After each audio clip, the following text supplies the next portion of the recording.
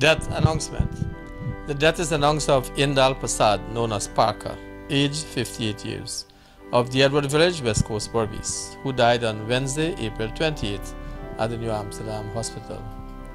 He was the son of the late Frankie and Lizzie, husband of Utra, father of Sheena, Sarika, Lekram, and the late Vikram, brother of Glory, Shanti, Reggie, Ramesh, Argo, and the late Nanda, Smith, and Tilin grandfather of Akila, Ria, Ryan, Dovish, and Amelia, uncle of many, father-in-law of Raj, Anjali, and Bunch, brother-in-law of many, friend of many. The body of the late Indal Persaud, known as Parker, will leave Prasad's funeral home on Saturday, May 1, for his residence, D'Edward Village, West Coast, Berbice, for viewing and funeral service from 14 hours thence to D'Edward Cemetery for burial at 16 hours. DTV extends sympathy to the relatives and friends of the deceased.